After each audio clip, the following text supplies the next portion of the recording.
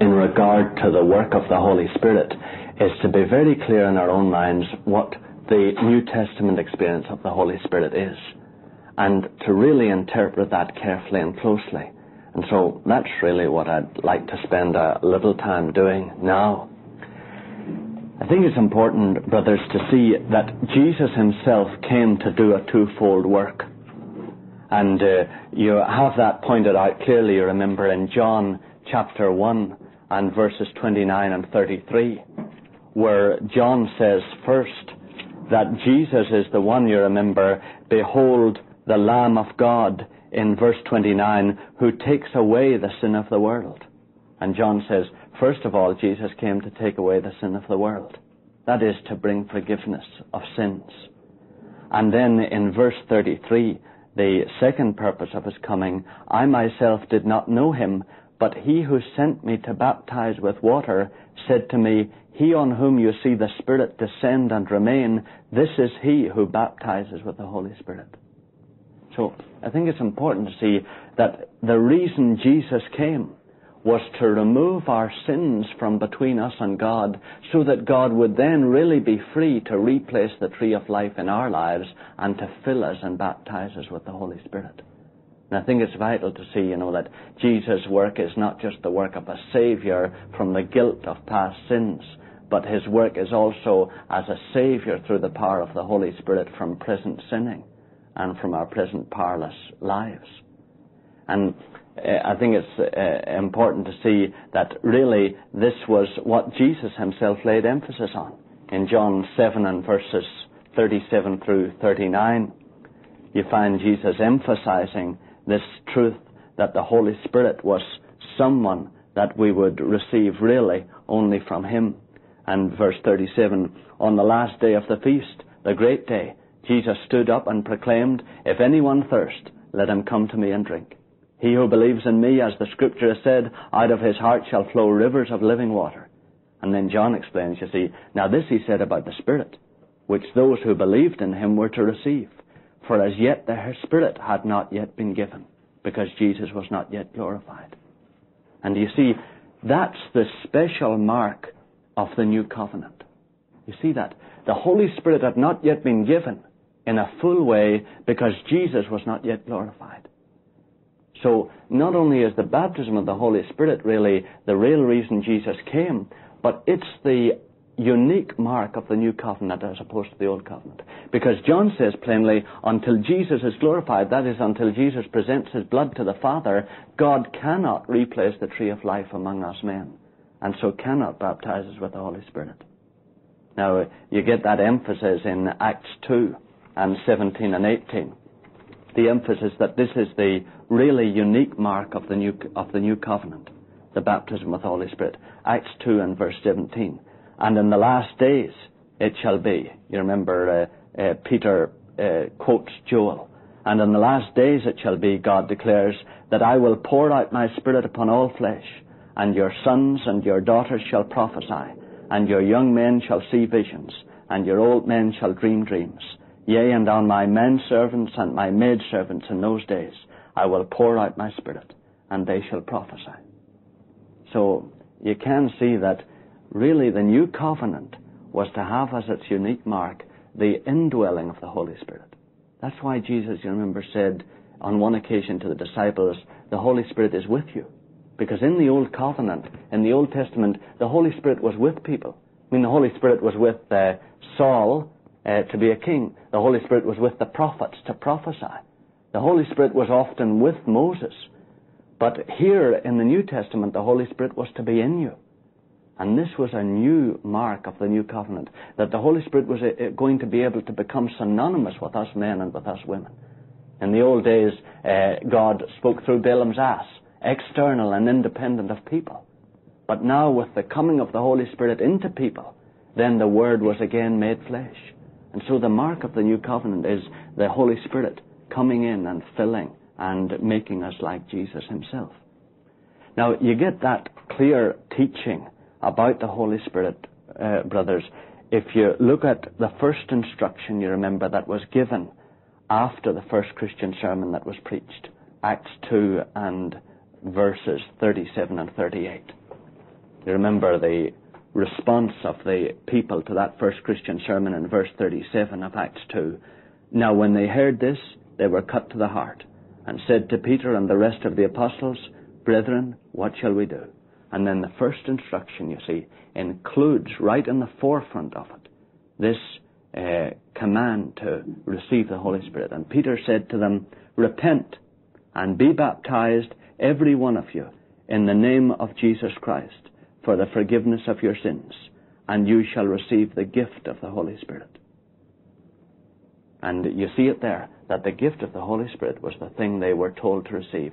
That was what would make them Christians as opposed to Jews. They were going to receive the Holy Spirit into themselves. Now, the Holy Spirit would do certain things in them. And the Holy Spirit, we find, does certain things in us. First of all, John 16 and verse 8, you remember. When the Holy Spirit comes, he will convince the world of sin. It's the Holy Spirit who convicts us of sin. None of us have moved towards Jesus or towards God, except that the Holy Spirit has worked in us and made us realize that we were not right with God. Then the Holy Spirit will regenerate us. In John 3 and verse 5, you remember, unless you are born of water and of the Spirit, you will in no wise enter the kingdom of heaven. So we're born of the Spirit when we become Christians. The Holy Spirit seals us, you remember. Ephesians 1 and 13 that it's the Holy Spirit that seals you as God's own people. So our assurance that we're children of God comes from the Holy Spirit. And then you remember Acts 1 and 8, you shall receive power when the Holy Spirit has come upon you. It's the Holy Spirit that brings power. Now, I mention all those because I think we often have an idea that the Holy Spirit only comes upon a person when that person is baptized with the Holy Spirit. It seems to me that the Holy Spirit has dealt with many of us even before we're children of God. He has convicted us of sin. It's Him that brings real repentance to us. It's Him really that enables us to believe on God. It's the Holy Spirit that uh, works the grace in us. We have to say yes or no to Him. But it's the Holy Spirit that brings about the miracle of the new birth. It's the Holy Spirit that brings about the miracle of assurance that we're children of God. And it's the Holy Spirit that fills us with power. So maybe it's good, you know, to see that the Holy Spirit is not just to be identified with what we have so often called the baptism of the Holy Spirit, but the Holy Spirit does many things in our lives down through the years. Uh, maybe it's important to see at this stage that He's the basis of our assurance. A lot of people in these days really aren't sure whether they're Christians or not.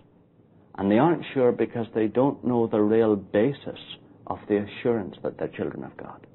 Some of them uh, get caught in that trap that Jesus outlined, you remember, in John 1 and 12, and they say, oh, we're born of blood, you know, and we're, we're born of Christian parents, so we must be Christians. Or we're born by the will of man, the Baptist pastor or the Presbyterian pastor or the Methodist pastor give us the hand of fellowship, welcome us into the church. We're members of the church, so we know we're children of God. Or some have a belief in the will of the flesh, born of the will of the flesh. They say at a Billy Graham meeting or an evangelistic service, I'm going to believe on Jesus. And they say just the sheer determination to believe, that makes me a Christian. And they try to look back and say, do I really feel determined? Then I must be a Christian. Now, Assurance of salvation is not based on any of those things. Assurance of salvation is a work of the Holy Spirit within us, and it can be clearly discerned. It's outlined there in Romans 8 and verse 16. Romans 8 and verse 16. You remember, Paul is talking about the Holy Spirit moving within us. And he says in verse 16, It is the Spirit Himself bearing witness with our spirit that we are children of God. Now, the Holy Spirit gives us an assurance of salvation because He, you see, the Spirit, capital S in verse 16 of Romans 8, the Spirit Himself, and the capital S signifies the uh, a definite article in Greek, and it always refers to the Spirit of God, the Holy Spirit. It is the Holy Spirit Himself bearing witness with our spirit, and that's a small s that we are children of God.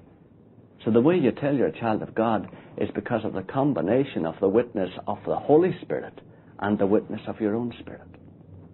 Now, you know, if you say, well, what is the witness of God's Spirit? Well, it's there outlined in verse 15 of Romans 8. For you did not receive the spirit of slavery to fall back into fear, but you have received the spirit of sonship when we cry, Abba, Father. So the witness of God's Spirit inside us is that we feel He is our Father. We sense He's our Father. When we go to Him in prayer, we sense we want to call Fa- Abba Father, you know, and Abba is the kind of Greek word for dad, you know. And we feel that God is our Father. We sense inside, He is our Father. He loves me.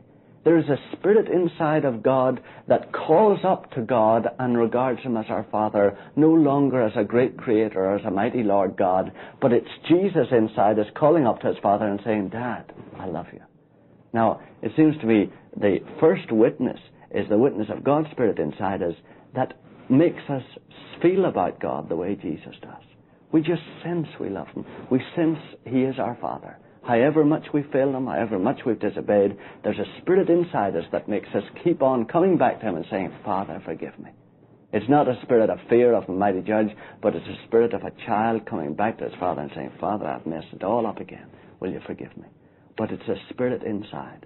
It's a spirit, you know, that assures you that because Jesus has died for you, God no longer has anything against you. It's an absolute recumbency upon Jesus as your only hope of salvation.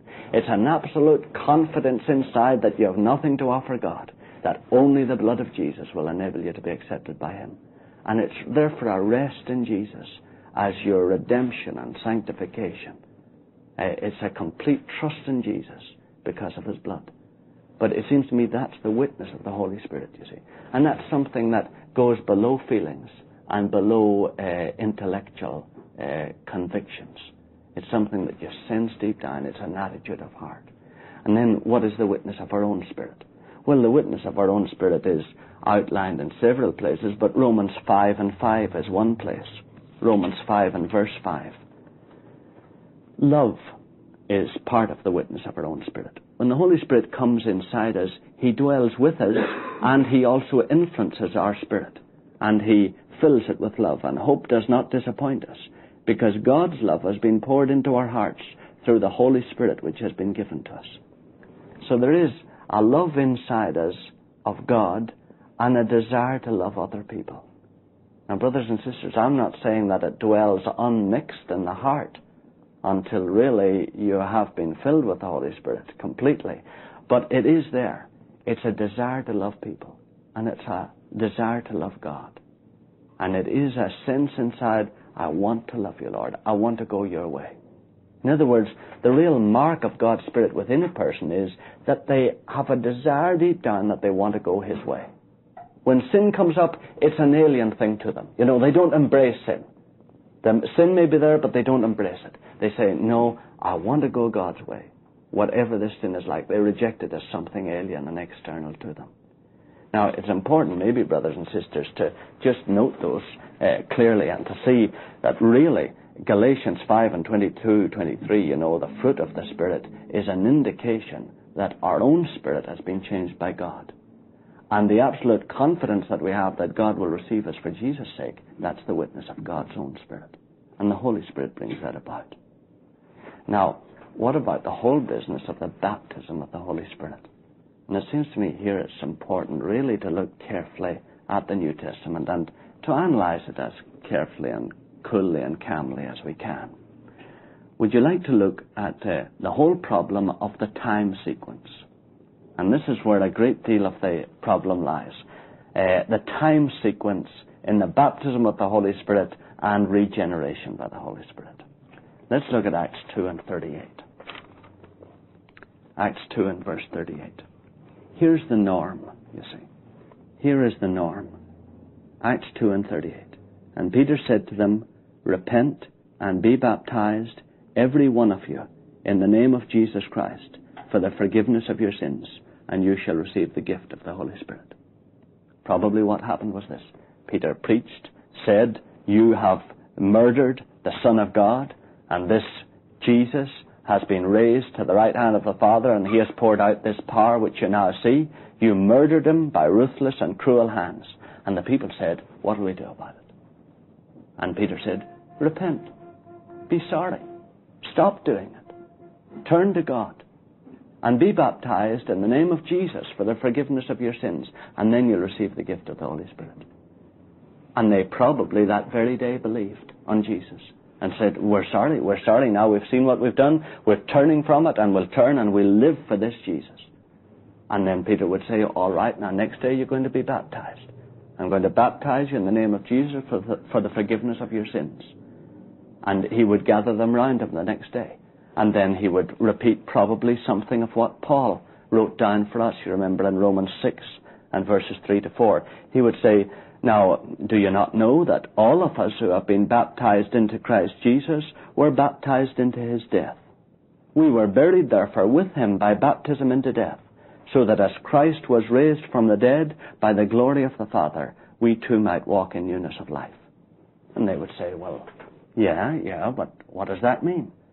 And Peter would outline what it meant. He would say, Now listen, I could be arrested any day. I could be killed tomorrow. I can't live for tomorrow. I can't hope to, for my family to grow up. I can't hope for it to be wealthy. I can't hope to look to the future. As far as I'm concerned, there is no future. Now that's what being baptized into Jesus' death is going to mean for you. And then he would go through the possessions, you know. This is what it's going to mean for you. And he would explain fully what full surrender meant.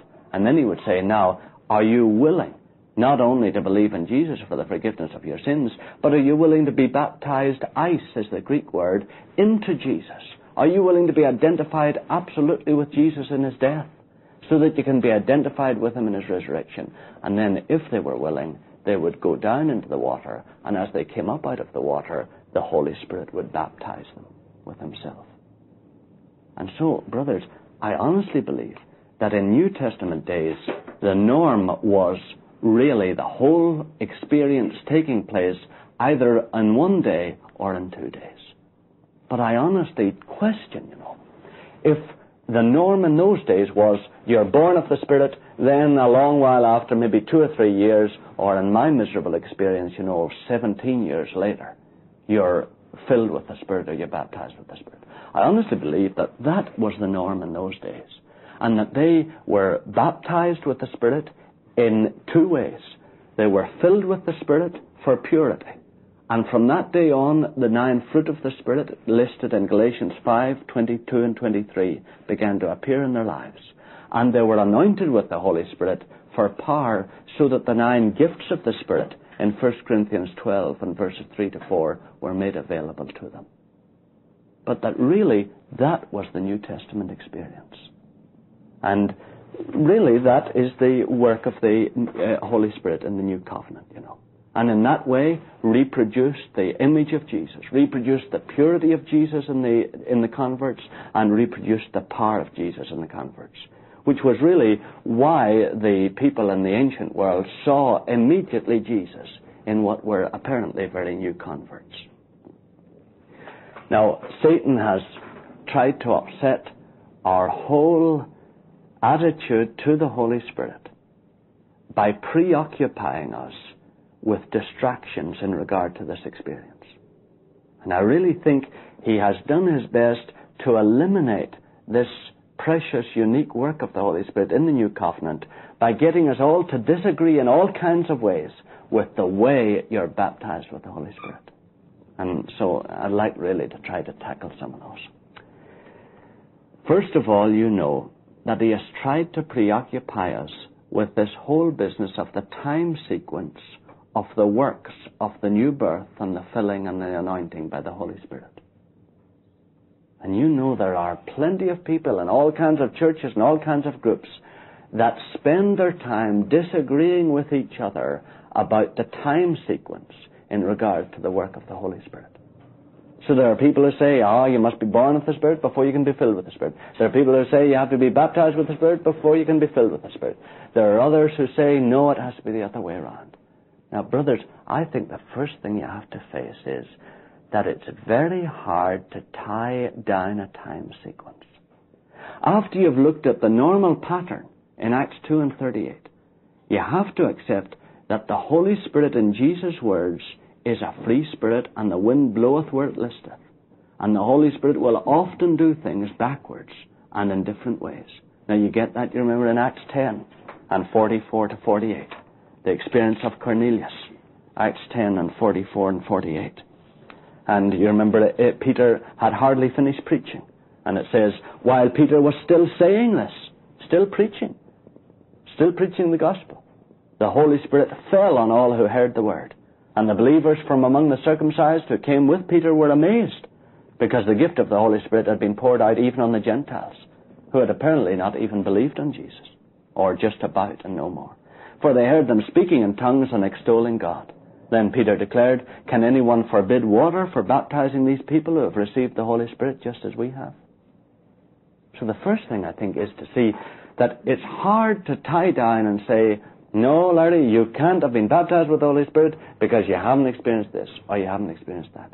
I think finally we have to be very humble about the time sequence of the works of the Holy Spirit and be open to God doing them in a new way. So, brothers, I don't think you can afford to say to a person, you couldn't be born of the Spirit and filled with the Spirit at the same time.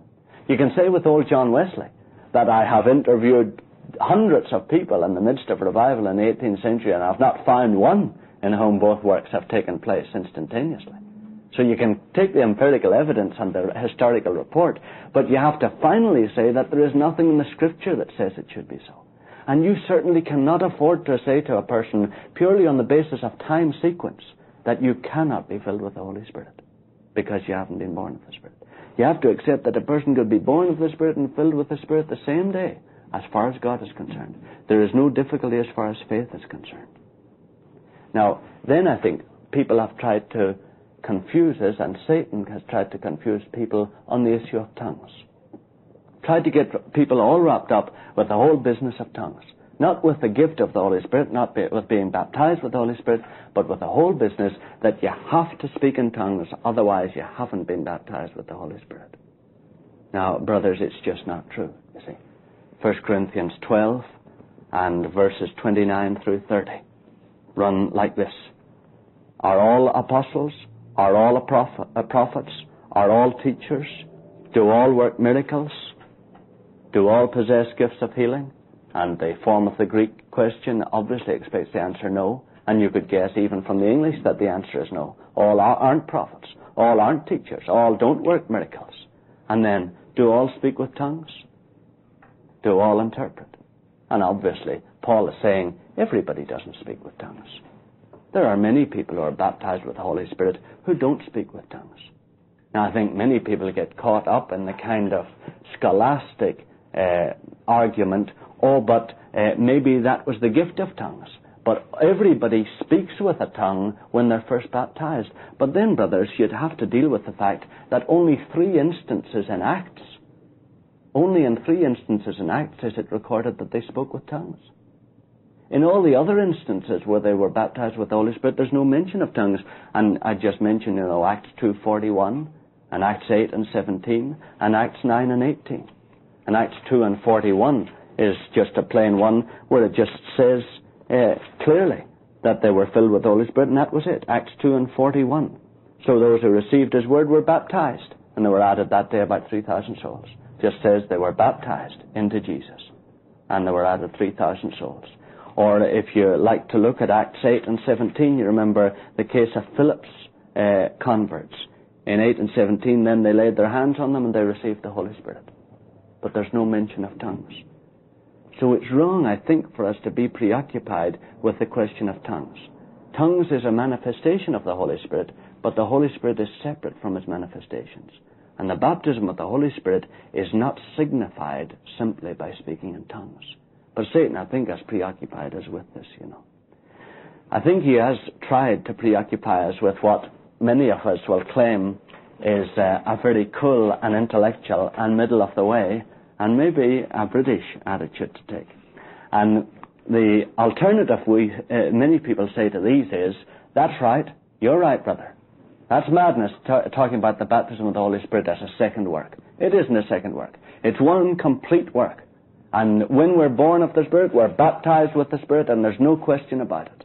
And it doesn't matter what my life is like. It doesn't matter whether I have the fruit of the Spirit in my life or not. It doesn't whether I uh, matter whether I minister in the gifts of the Spirit or not. I've been baptized with the Spirit because what you say is right. In the New Testament, it was to be one experience. And even though it seems to me I haven't experienced the whole one experience, yet I know I've been born of the Spirit. So I must have been baptized with the Spirit. Now, brothers, do you see that's a, an utterly blind attitude to take? Well, you say, because the norm in the New Testament was one great experience, then you've, you say you're a Christian, and yet you haven't the fruit of the Spirit in your life, you have no experience of the gifts of the Spirit, but you keep on saying, ah, no, but I, I'm baptized with the Spirit. Now, dear ones, do you see that that's contradicted by the New Testament examples of people who had entered only into part of the work of the Holy Spirit? And it's contradicted also by those of us who know we're Christians, but know we're not moving in the fullness of the Spirit. So really, what we need to see is that the norm in the New Testament is one complete experience. But there are several indications in the New Testament itself that many people entered into only half of the experience. Some were born of the Spirit and not filled with the Spirit. Some were, fill- were anointed with the Spirit and not filled with the Spirit. Some experience victory and not power. Some experience power and not victory. Some experience forgiveness of sins and neither power nor victory.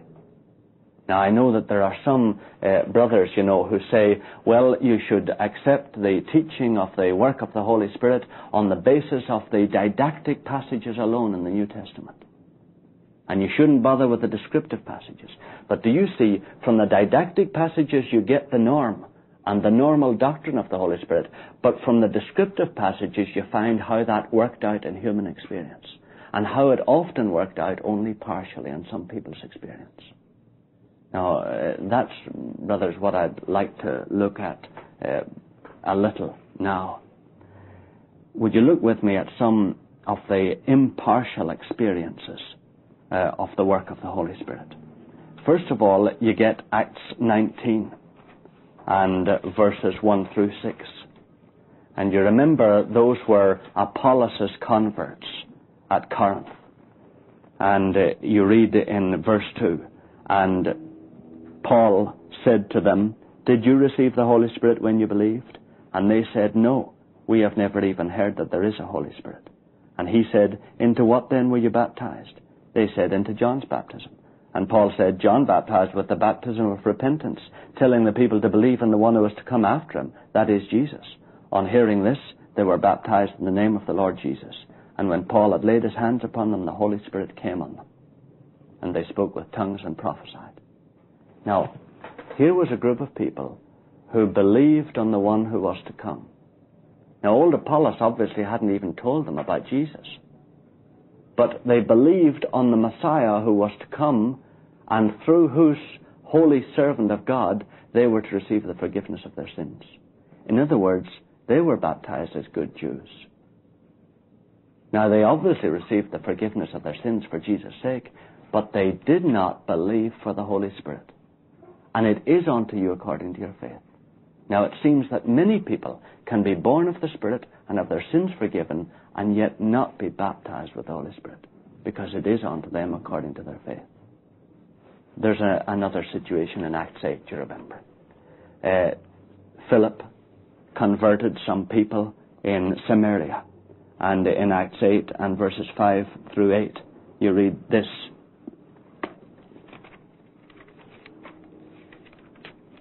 that uh, Philip asked them then to come forward and then explain to them what was going to happen. In Acts 5, uh, Acts 5, Philip went down to a city of Samaria and proclaimed to them the Christ. And the multitudes with one accord gave heed to what was said by Philip, when they heard him and saw the signs which he did.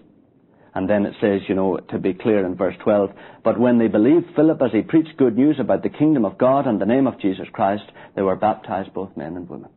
Now here was an instance where people believed in Jesus for the forgiveness of their sins. And so they actually were born of the Spirit. They were not just good Jews, they were born of the Spirit. And they became children of God. And yet, when the apostles at Jerusalem heard that Samaria had received the word of God, they sent to them Peter and John, who came down and prayed for them that they might receive the Holy Spirit. For it had not yet fallen on any of them, but they had only been baptized in the name of the Lord Jesus. Then they laid their hands on them and they received the Holy Spirit. Now it seems that some people can actually be baptized in the name of Jesus and become Christians. Not just be good Jews who know the forgiveness of sins, but really know Jesus himself and be born of a Spirit and yet not be baptized with the Holy Spirit. And it seems to me that there are some people that we come across that are in that position. Then there's another example you remember in 1 Corinthians and chapter 3 and verses 1 through 3. But I, brethren, could not address you as spiritual men, but as men of the flesh, as babes in Christ. These are the people in whom the spiritual gifts were manifest. The Corinthian church had the spiritual gifts in complete fullness.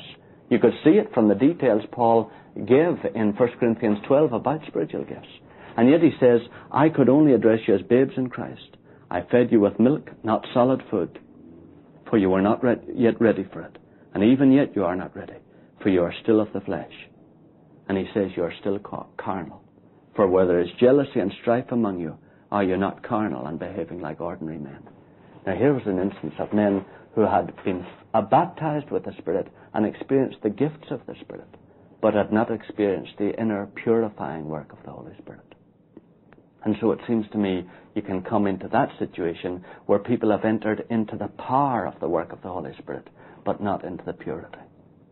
Now, really, brothers, these are some of the instances in the New Testament that suggest that though the work of the birth and the baptism of the Holy Spirit should probably and is planned by God to be one great work, yet there are examples in the New Testament that it was only a partial work.